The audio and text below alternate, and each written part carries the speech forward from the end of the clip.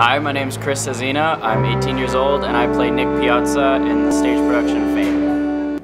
Hi, I'm Cassie Carrick. I'm 15 years old and I play Lamb Chops.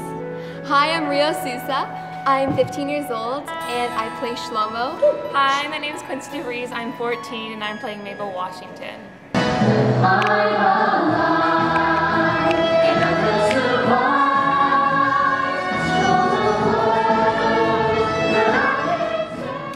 Innovative acting has really helped me a lot. Um, when, I, when I first started this production, I had zero stage experience whatsoever, and I feel like I've really uh, grown as a performer because of this and because of innovative acting.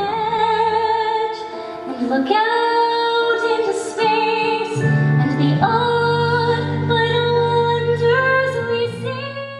You know, it's essential, and you know, no matter how much you suck at the beginning, uh, if you commit yourself, you know, it'll it'll it'll work itself out, and you, it'll you'll sound good.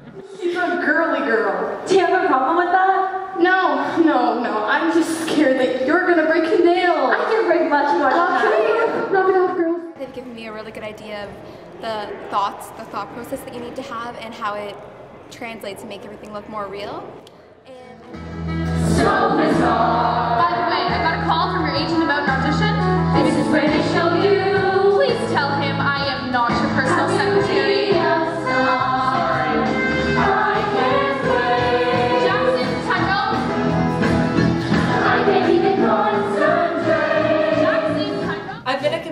Dancer for over 10 years and I've been in a number of different plays, but Fame was definitely my favorite. It taught me to put myself out there and be who I truly am.